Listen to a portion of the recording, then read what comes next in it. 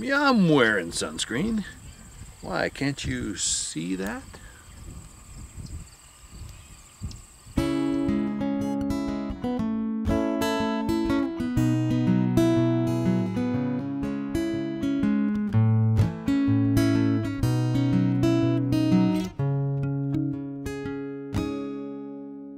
Hi there, I'm John Acorn. I'm a biologist. I'm also a nature nut, and I hope you are too. Let's talk about things that some animals see that humans cannot see, the so-called hidden patterns in nature, the secret channels of communication. What can we discern about those? What an interesting question. It, it's fascinating to me. It's fascinating to a number of my students, and they're going to help with this video. And, you know, we're interested in how animals interact with their environment, and many animals are extremely visual creatures. In other words, they rely on their eyesight to, to guide them through the environment, to find food, uh, to evade predators, and, uh, and to find mates, and so on and so forth. All right, well, let's, let's assume uh, right now that, that you have a, a basic understanding of how what light is, how it fits into the, the electromagnetic uh, spectrum. Uh, if you don't, I'm going to put a link to a good video in the uh, in the description for this uh, for this uh, video, and you can have a look at that first, and then come back to this very point. Light is electromagnetic radiation, and visible light, what we probably should call human visible light, falls between the red end and the purple end of the spectrum from about uh, 700 to 400 nanometers in wavelength. Roy G is the spectrum, red, orange, yellow, green, uh, blue, violet. And that sort of light is very good light for imaging things. It's not a coincidence that we see in the visible spectrum. Visible light reflects the right amount of detail from, uh, from objects in the environment. It doesn't go right through things the way that radio waves do, and it doesn't do um, damage to tissues uh, the way that high energy uh, ultraviolet, the UVB or C does, or, or, you know, not to mention X-rays and gamma rays and so on. So we don't want to let that damaging radiation into our eyes, and in fact our eyes have a lot of uh, UV uh, filtering in the, in the lens of the eye. But I'm getting ahead of myself. My point in, in uh, saying this is that there are probably more similarities between human vision and most animals' visions than there are differences because visible light is good light for imaging. Now, with that as a, as a brief introduction, let's have a look at some different types of, of animal vision and uh, we'll use a little bit of fairly basic uh, video technology to try to imagine what they see as well.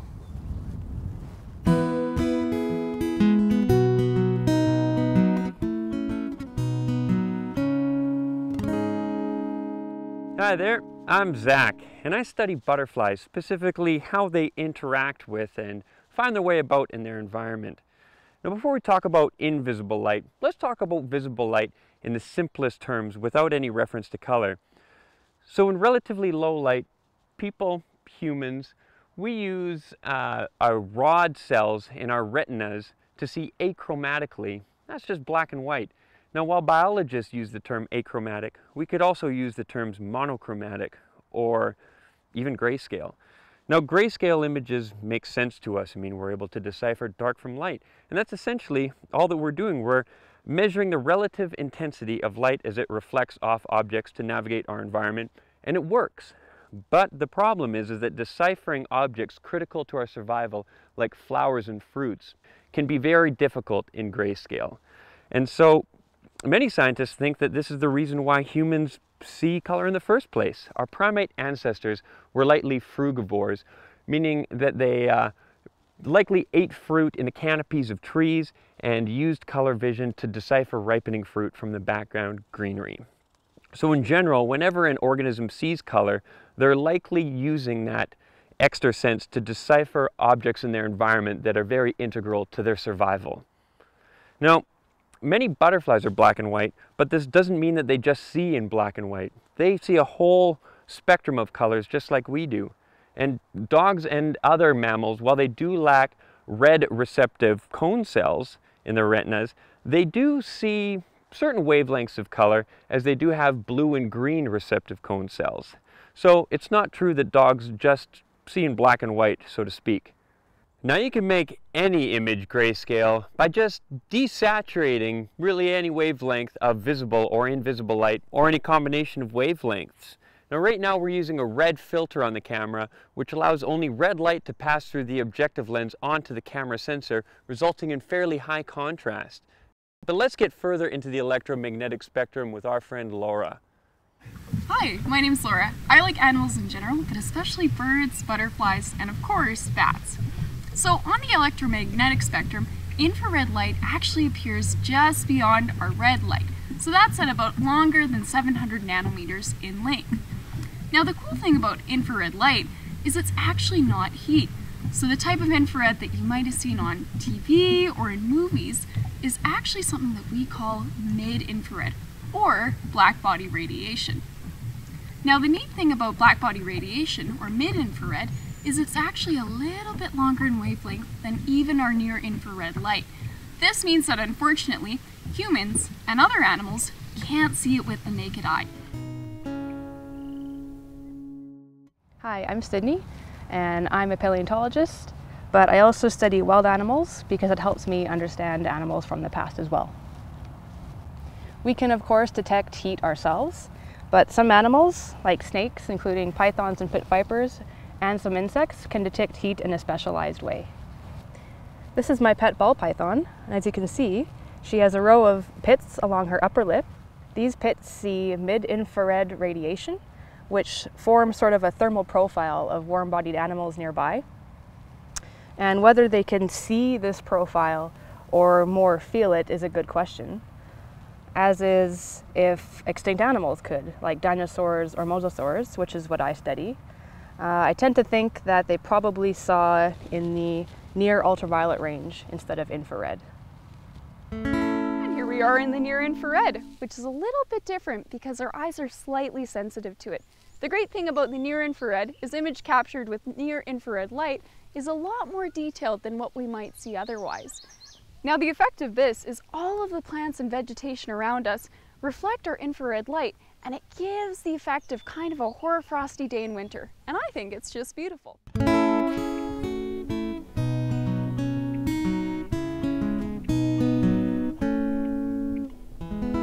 Now a lot of fish have really well developed infrared vision, and this helps them to see well in shallow murky waters, which is a pretty cool adaptation. Now we use infrared all the time for our wireless remote controls. Here, let me change the channel. Sorry, wrong button. Let me try again. So here we are in the ultraviolet, ultraviolet light, light with uh, wavelengths beyond the violet, uh, wavelengths below um, uh, 400 nanometers and light that we generally cannot see. Now, this is exciting as a biologist because here is here's where we should see those classic uh, patterns that you see in the textbooks. The nectar guides on flowers to to guide bees to the to the source of nectar and and pollen. Uh, the hidden patterns on butterfly wings that help butterflies recognize members of their own species. Very very good. So how how is this image that you're looking at right now being created I've got a Sony video camera. I put it on night shot mode, which flips out a little internal filter and makes it more sensitive to both UV and, and infrared. Then I put a, an 18A Tiffen filter on the camera. That blocks almost all the visible light, but allows both the infrared and the UV to pass. Then I put a Schott BG40 filter on the camera and that blocks the infrared. So in theory at least, almost everything that is illuminating this image should be ultraviolet light. Cool. So you're thinking, oh, why does it look so normal, John? I mean, the sky is still kind of blue. If there were any clouds, they would be white. The vegetation is an olive greenish kind of color. It just kind of looks washed out without any reds or oranges. Um, in the, in the picture. But there are good reasons to believe that this is an ultraviolet image or created with ultraviolet light. For example, my shirt. I'm wearing a dark blue shirt with dark blue buttons. Dark blue shirt, dark blue buttons. So some of these colors are what we call false colors. The other thing that people do when they uh, when they demonstrate ultraviolet, everyone does it, is put on sunscreen. So let me put on some sunscreen here. It's a nice sunny day, southern Alberta. I've got some SPF uh, 60 here, and see what that looks like. Put some on my arms. Don't want. I'm, I'm a very pale person, so sunscreen is important to me. And as you'll notice, I assume, I'm starting to look a little bit like the vegetation here. It's, uh, it's obviously doing something. Let me, I'll put on a little more than I normally would just for your entertainment uh, purposes.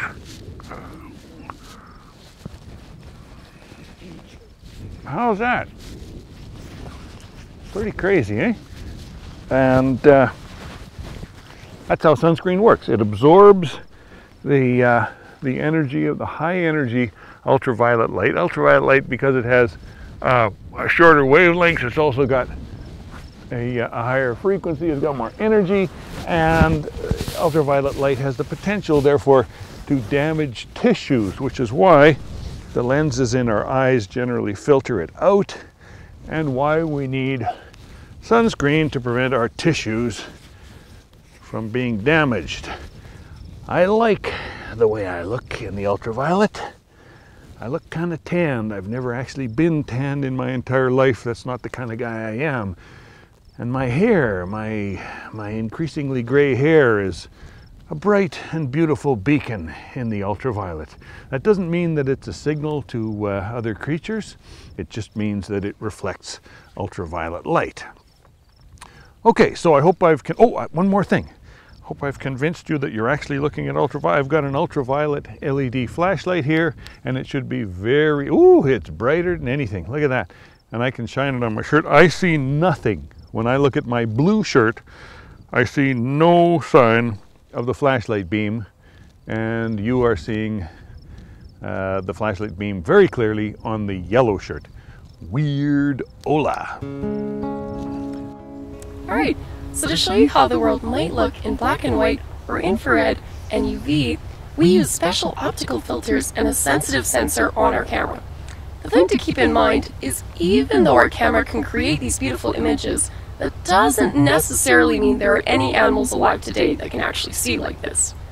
Special effects are also a lot of fun, like the one you're seeing right now. The other thing to keep in mind is they're even further removed from what animals see in their vision, so even though you might come across special effects titled insect eye or things like that, doesn't necessarily mean that they're completely accurate. So now that we can see uh, an image created from ultraviolet light, uh, what, what, do we, uh, what do we experience? Well, I gotta say, it's been a surprise to me. For one thing, the nectar guides on flowers are a lot more rare than I expected. Very, very few of the flowers that I've looked at have had any nectar guides whatsoever. Dandelions are one example. They're lighter around the outside of the flower and darker in the center. I even went to the University of Alberta Botanic Garden and shot a bunch of, of um, cultivated flowers there and found only, I think, two, and one of them was a gentian. Very nice, but you know what I think? I think you don't have to be a genius to find the center of a flower. A flower is a circle. Even a bee can find the center of a circle. It's easy. So it doesn't really surprise me on reflection that we don't see that. What about butterflies? Well, most butterflies look about the same in the ultraviolet as they do in, you know, desaturated uh, visible light they, they, uh, they don't have surprising patterns. Now, of course, the, the, the really dark parts of butterfly wings are generally dark in the UV and the, and the really light parts are generally light, like you know the Compton tortoiseshell, nice sort of uh, orange and black butterfly, but it has white spots on the forewings near the leading edge, and those white spots show up very, very clearly.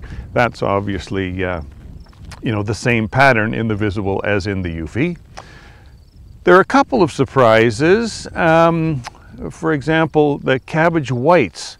The female cabbage white butterfly, very common butterfly, uh, is very reflective in UV and so you can see it very easily against the, uh, the more absorptive vegetation background.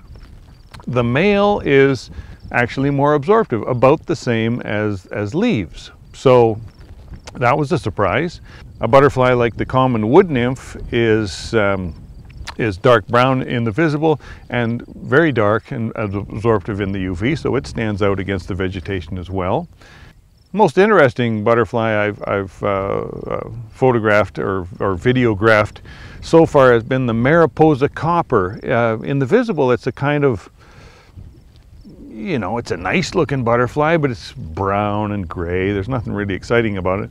In the ultraviolet, the underside of the hind wing, which is gray in the, in the visible, is very brightly reflective in the UV. It's a, it's a beautiful, uh, beautiful little thing. Now, is that important to the other members of the species? Well, maybe it is.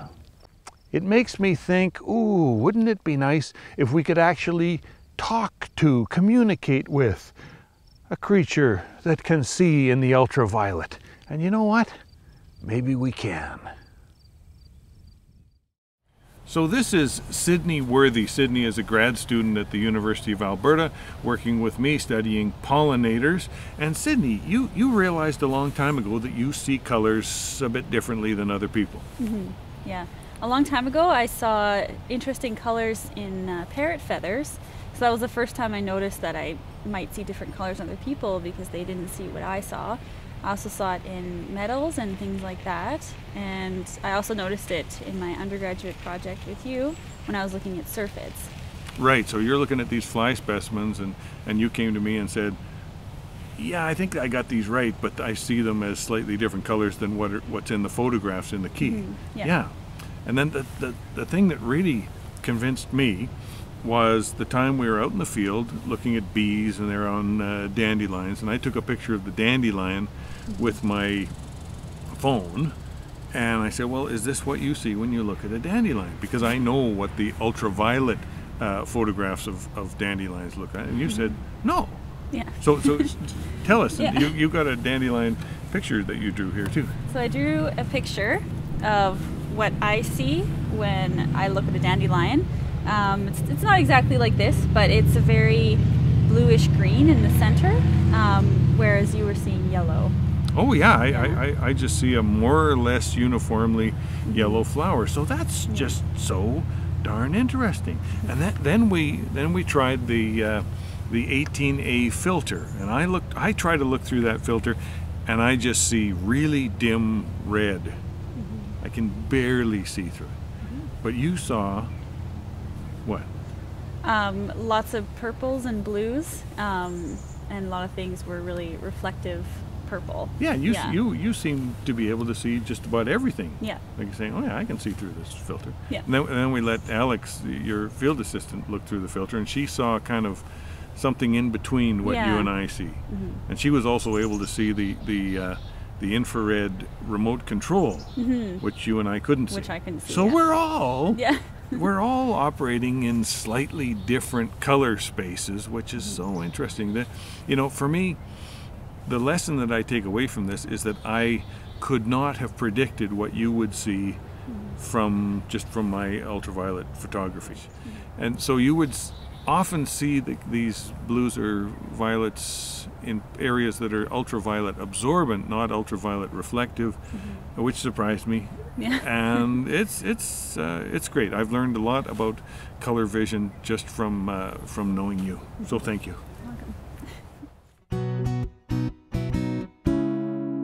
So one of the big themes that uh, comes out of visual ecology is that you can't just study animal vision or the appearance of animals, animal coloration in isolation. You have to consider the light environment. Now today, in my hometown of Edmonton, the light environment is very peculiar. We woke up to this kind of yellow orange rusty look because there's forest fire smoke blowing in from the west from British Columbia which has become a kind of uh, typical situation in midsummer uh, here in Alberta.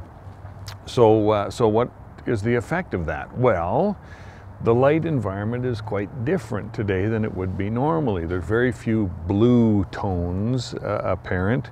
Everything is, as we say, red shifted. The, uh, some of the vegetation looks a little more green, but overall everything is, uh, is not quite the same as a cloudy day. It's kind of an orangey day. Now, if you were, um, if you were another sort of animal, what, uh, what would you see? Well, of course, there is still quite a bit of, uh, of visual information uh, here in the, uh, in the human visible spectrum, but what about the other uh, spectra? Oh, well, here in the infrared, we do see a little bit more, I think. Um, and a smoky day in the air is a little bit like um, the situation in murky, shallow water or murky water in general. The, uh, the particulate matter is, is, uh, is shifting things toward the red. So there are indeed fish that, uh, that have a little bit more sensitivity in the near infrared for uh, making their way around in murky shallows.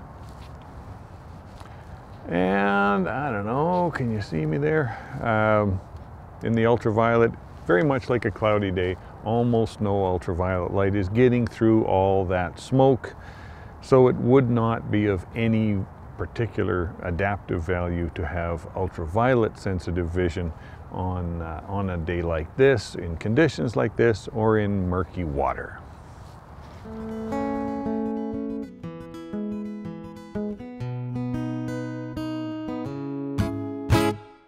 So you know what I find? I find that every time you do something technical, there's always someone who wants to tell you that you did it wrong. You used the wrong equipment or you had the wrong settings or something. And I, before someone tells me that I had the wrong filters, that I should have used the classic industry standard Baader U filter, I gotta tell you, here's the story. I turned 60 the other day. And for my birthday, I bought myself a Baader U filter. Really good filter. It, uh, it, blocks all the visible and all but the tiniest amount of infrared and it costs a lot of money, but you're now looking at me through the Baader U filter. Does it change my perception of the ultraviolet? Well, not really.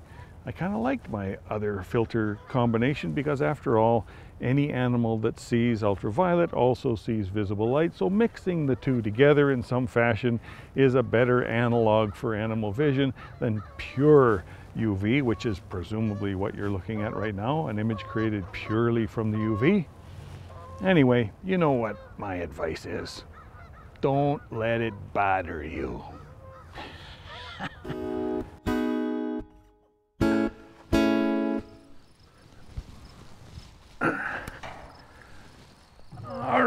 about the built environment, the environment that's created by human beings? Certainly, it must look different than the natural environment to a creature with vision unlike our own. And sure enough, you know, you, you look around in, uh, in the human world, and some things are extremely bright in the UV, like this horse, and some things are extremely dark, and the amount of contrast is a lot greater than it would be in, uh, in almost any um, natural environment. I don't know of any evidence that that sort of thing is a problem for wild animals, but I think it's, uh, I kind of enjoy this. I haven't been on one of these for a long time. I think that there are other problems. For example, windows.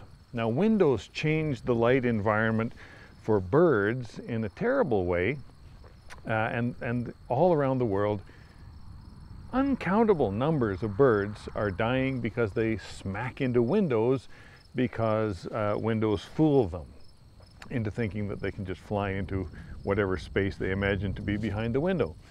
Um, because windows are partly, you know, transparent, of course, and of course they're reflective as well at other angles. The real problems happen at night. We change the visual environment so much with artificial lighting. Uh, birds, again, you know, sometimes uh, smack into tall buildings with artificial lights on them. Uh, huge numbers of insects waste time flying around light bulbs at night uh, when they should be doing other things. Uh, there, there are lots and lots of, of um, reasons to think that we have influenced the, um, the light environment in negative ways for many organisms at night, but um, less so during the day except for windows. Well, now let's talk about fluorescence. Scorpions, for example, are famous for the fact that they fluoresce. Uh, you aim a, an ultraviolet light at a scorpion and all of a sudden it becomes a wonderful glowing bright greenish or bluish creature.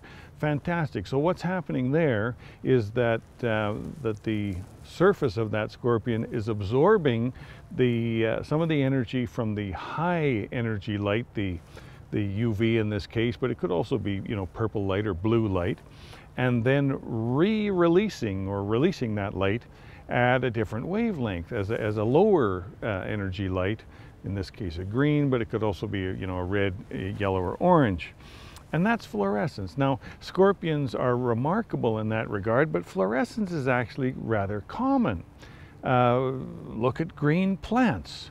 Did you know that the chlorophyll, the green substance inside uh, plant leaves, also fluoresces red. It, it releases red light. You don't see that red because the, uh, the green is masking the red. The green is just so, the green reflections, I should say, are, are so very strong compared to the red fluorescence that you don't see the red fluorescence. It's, it's a lot like the fact that around me some of the trees now have yellow leaves. Now those yellow pigments were present all through the, the, uh, the growing season, but they've only now become apparent as the chlorophyll is, uh, uh, is lost in the leaves. So the, so the green chlorophyll masks uh, both the, the uh, yellow pigments and the red fluorescence, and, and these thing, things are happening all the time. Um, why do scorpions fluoresce, by the way? Everyone likes to know that. Uh, the, answer is we don't know. Uh, it might be good to absorb some potentially damaging uh, high energy radiation, but on the other hand, scorpions don't spend time out wandering during sunlight hours. They're nocturnal creatures, so I can't imagine that's the reason. Anyway, I got to tell you that that uh, fluorescence is, is increasingly obvious to a lot of biologists. It's kind of fun to go out at night with a blue flashlight or a UV flashlight and, and yellow goggles to block all that blue light and, and then see what you can find that's fluorescing. The other day I was given a giant water bug. The staff at the University of Alberta Botanic Garden caught a giant water bug I put it under the blue light. It fluoresced this wonderful green, not very strong, but very beautiful. And all the water plants around it were fluorescing red. So the world changes a great deal. And, and divers, scuba divers will tell you that the fluorescence they see at night on coral reefs is truly astounding and uh, awe-inspiring. Now let's talk about polarized light. Now polarization is something separate from wavelength and color, but it still matters because some animals can see polarized light.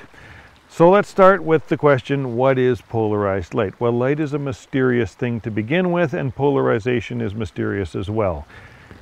As far as I understand it, and I'm no expert, the deal is this.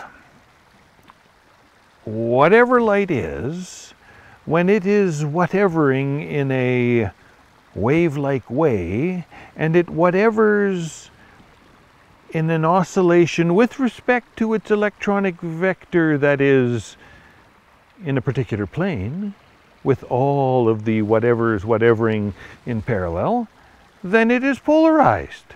When the whatevers are going all different directions, then it's not polarized. And uh, we know a little bit about polarized light in everyday life because of polarized sunglasses or polarizing filters for cameras. Um, I'm using a polarizing filter on this camera right now. It's a blue-yellow polarizer. When, uh, when the polarized reflections, for example, off water are, are reduced, uh, then you get a sort of deep blue color. When the polarized reflections are allowed to pass through the filter, you get a yellow color. Okay, so there are a number of sources of polarized light in nature. One is reflections off, for example, water. Um, the light reflecting off water is polarized in a certain plane, and, and there you go.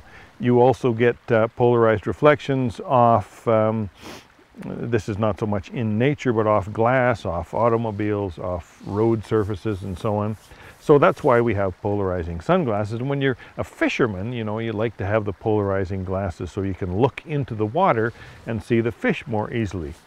But there are also polarizing patterns or polarized patterns uh, that are caused by the scatter in certain sorts of media, including the sky. So there's a polarized pattern in the sky. Many animals use that pattern in the sky to, uh, to orient themselves, to navigate. And the same is true underwater. There's a polarized pattern that occurs because of scatter underwater.